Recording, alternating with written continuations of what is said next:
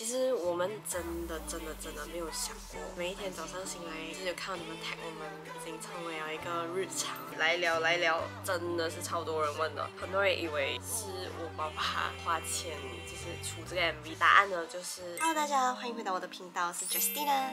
那今天我大概整理了大家对呃这次推出的新年单曲《虎年新年到》一直很好奇的所有大小事，这次应该会是虎年新年到的最后一支影片吧。所以，所有好奇的宝宝们，记得把影片看到最后。我们一起开始吧。OK，第一道问题，为什么想出新年歌？是谁提的？自从去年我们推出了一首新年歌，适合其他 YouTuber Nescafe 的新年歌，然后老板就说，希望每一年我们都可以出新年歌这样子。然后老板就想说，那明年，也就是今年的新年歌，你想就是和继续和其他 YouTuber 合作，或者是和家人？然后我毫不犹豫的直接说，我要和我家人。MV 筹备多久？灵感来源？拍了几天？用了一个月来筹备吧。构思 idea，找团队拍摄，编排舞蹈、服装啊、化妆、头发之类的，对，大概就是用了一个月。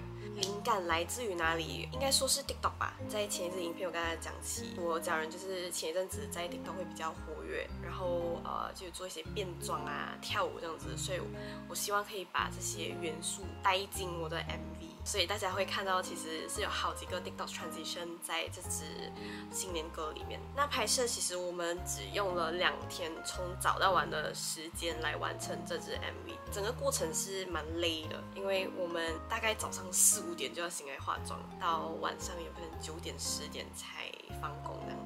可是做着自己喜欢的东西是会累啦。Next question，有遇到这首歌会爆红吗？还有我的感想。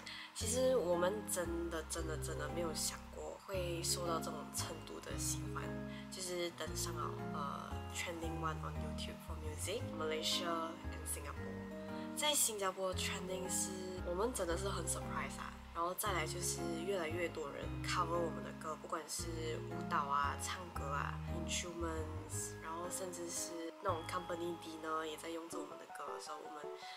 真的真的很感谢大家。然后其实每一天早上醒来看抖音、TikTok、Instagram，啊，就是有看到你们 tag 我们，已经成为了一个日常这样子啊，就是大家都很可爱。然后我最记得就是呃那时候破五百 K 的时候，我已经就是发去我们的那个 MV 制作那个 group chat，说 Oh my God guys，we hit 500K view 这样子，然后就很开心。然后老板讲。Oh my god, like very proud of us 啊！然后我们在群组就是互相祝贺，说辛苦啦，然后真的是很感动啊！因为这个 MV 团队，整个公司团队，大家真的是付出很多很多努力来完成这件事情，所以是谢谢你们，谢谢大家。最挑战性的拍摄，诶。一开始的我会以为 Mannequin Challenge 会是最难拍的吧，因为毕竟是不同服装、不同的场景、不同的动作，然后而且是呃都是我们五个这样子。可是当天拍摄的时候，我们最多 take 的部分呢，是我们的 MV 开始的那个 one shot 的场景，因为它是 one shot，所以大家都不可以有错误，然后。抓机的啊，导演啊，全部都是要抓到很好这样子哦，所以我觉得那个应该是最多 take 的。母老虎的部分比 L 是什么意思？OK，就是我跟我妈咪前面的，就我的 solo part 啦。为什么会我家母老虎？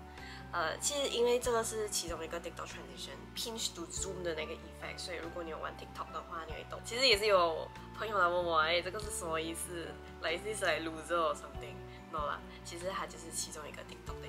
被问爆的一题，词曲是谁写的？我们有参与词曲创作吗？这次的词曲呢，是由我们的 Adam 哥哥啊创作的，所以要谢谢 Adam，Thank you for the beautiful song。那时候创词的时候，我是有在场的，因为呃，毕竟是关于我的家人，关于我妈咪啊，关于我爸爸，然后 Adam 是完全不懂我家人的东西吧，所以那时候我们是坐下来一起讨论，我也跟他。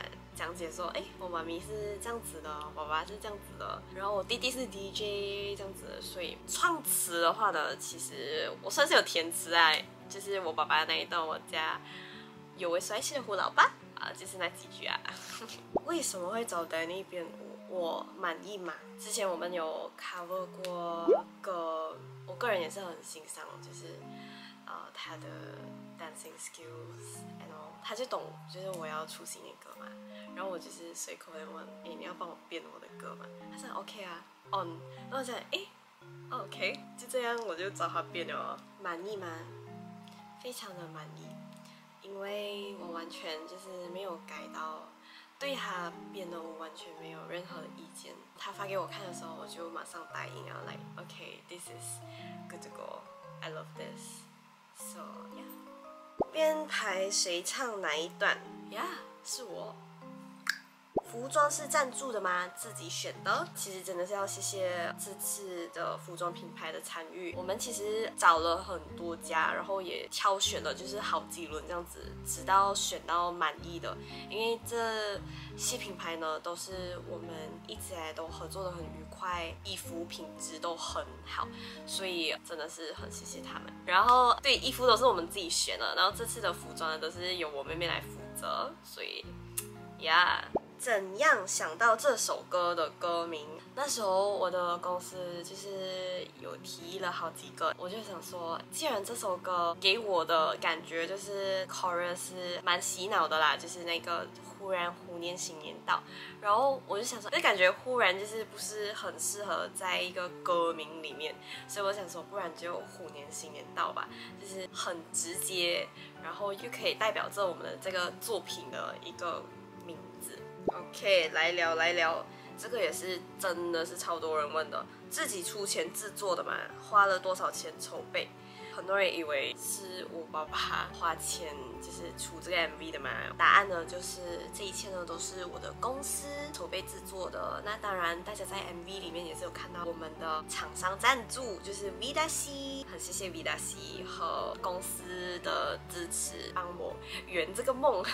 那至于多少钱呢？嗯，这个你们可以去问一下我老板了哈。好啦，那以上就是我整理出来的虎年新年到的 Q&A，希望有帮大家解答到大家一直想问的问题。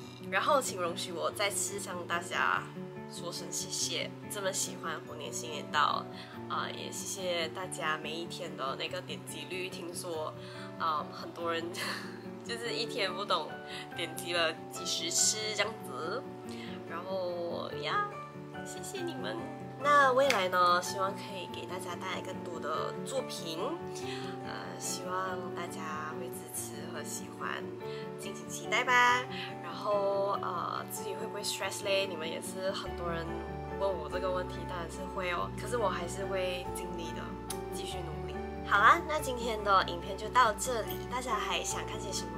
视频的话，也可以在下面留言让我知道。然后喜欢这支影片的朋友们，记得点个 like 和 subscribe。然后我们下次影片见，拜拜。